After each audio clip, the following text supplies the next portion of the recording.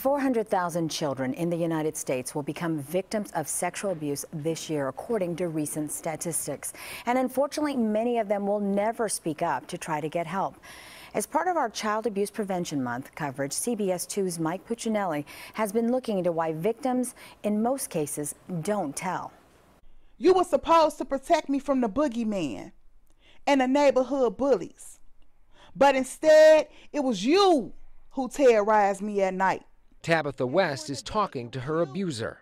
Seven years I grew up holding on to your dirty, big secret that was silently breaking me. It was sexual abuse that was breaking Tabatha from the age of seven to when she finally spoke up at 13 about when this picture was taken.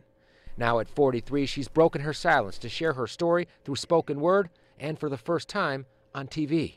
I told God, I said, you know what? I, okay, I tell my story if it uh, helps set at least one person free. And while much attention is placed on churches, camps, and schools, Tabatha urges parents and loved ones of children to look in a far more obvious place. For me, home was the most dangerous place. And statistics back her up. Over 90% of children who experience sexual abuse, their perpetrator is someone that they know and about 60% of those cases are people that are within the same family as those children. It's a reality that's so disturbing that the problem is all too often ignored while children suffer in silence. So it's hard to fight something that a lot of people just don't want to admit is actually happening.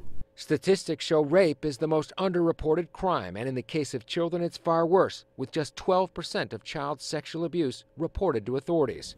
So it's especially maddening for the head of the Children's Advocacy Center when victims are asked this all too common question. Why didn't you say something all those years ago? It's so common for kids not to tell and so common for people to push down those feelings and push down, you know, what happened to them that I think the better question is why would you tell? Tabatha told one adult who didn't believe her, but then she told her father who brought her into his home, ending years of abuse. When he found out and he took you out of the home immediately, what do you think he did to you that day?